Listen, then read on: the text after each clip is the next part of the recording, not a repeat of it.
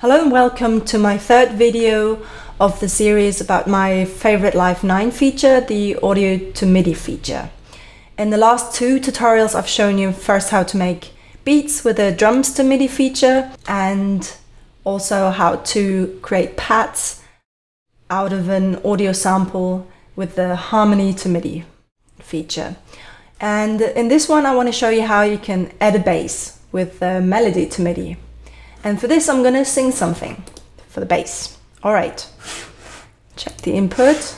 Right, okay, so that's working. And now turn that on. Okay, and let's play what we had before.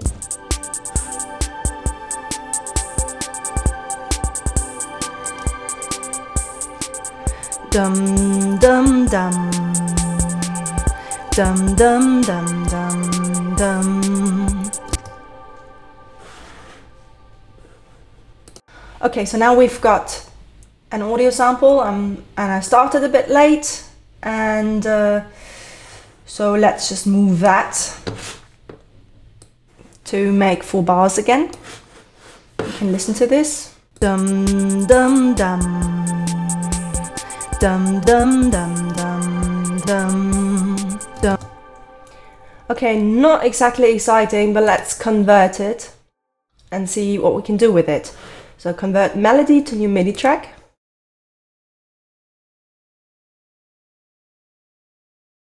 Here we go.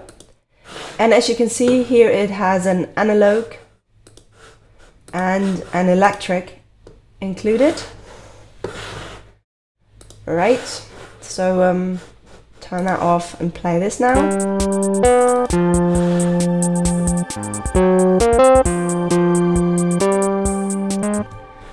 I'd say it almost sounds worse than before. So let's select all and quantize first. And I'll also drag everything down by an octave simply because I don't get as low because I'm a woman.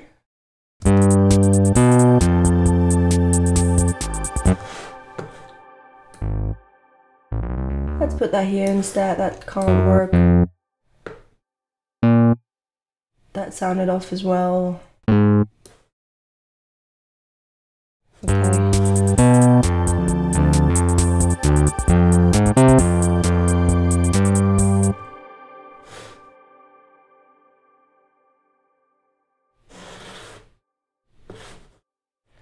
Let's just get rid of it.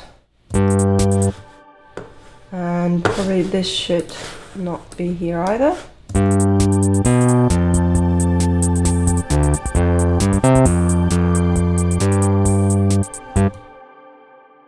Make this one a bit longer and this one a bit longer.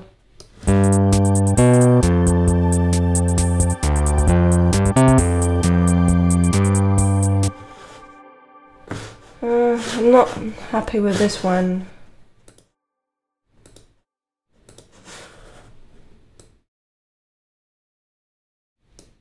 Probably back.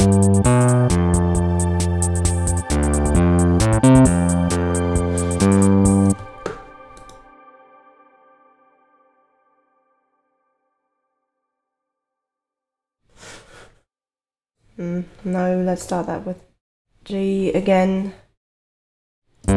Okay,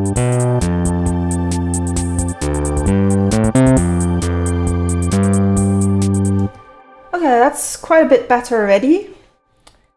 And uh, now we'll take it down a bit as well.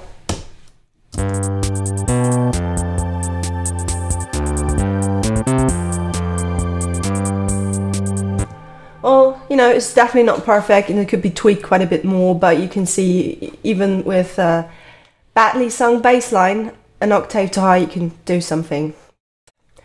Alright, see you in the next tutorial. Bye.